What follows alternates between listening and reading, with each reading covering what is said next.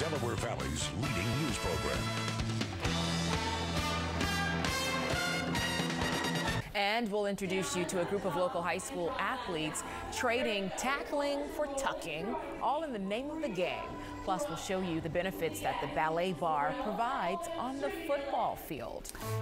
When it comes to fitness and physique, we are learning that barre classes are hardly for ballerinas anymore. In fact, football players are getting in on the action. We were there as a few of the captains from a local school swapped their typical gridiron workout for one they might have chalked off as well girly. That is, until they stepped up to the bar. They're trained to tackle, not tuck. But these quarterbacks and linebackers are lining up at the barre. I guess it'll help my range of motion, make me a better athlete all the way around, I guess. To strengthen their game on the field, the five captains of the Bishop Eustace football team are trading their plays for pliés. I can definitely feel it in my core and in my legs, so hopefully it helps me get a little more agility.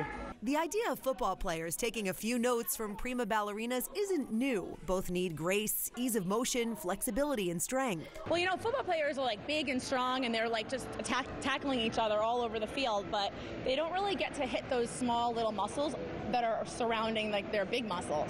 Jenny Sabia is a barre instructor at Lifetime Athletic in Mount Laurel and says this kind of pre-game training makes perfect sense. This class is geared towards your core. So we pull our core in, we tuck it in, and we work it the whole time. Come down to your curtsy.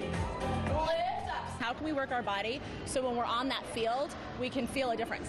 The captains were certainly a little skittish going in. You guys are tough, right? Yeah, uh, yeah. I don't know about this kind of tough. and they toughed it out. Hold right here, guys. Lift your heels up a little more. You see the shaking? That's exactly what you want. And while they came in cracking a smile, they quickly got their game faces on. You're breaking a sweat. Yeah, it's pretty tough. It's a good workout, feel, that's for sure. Feel the burn. I feel the burn. I definitely feel the burn. and Sevilla, the teacher, tells me it also helps with balance and mental focus, two things you definitely need on game day. But she did admit off the record the women in her class are always just a wee bit tougher than the guys are. Respect the barre. The men learning today. That's right. No doubt. No doubt.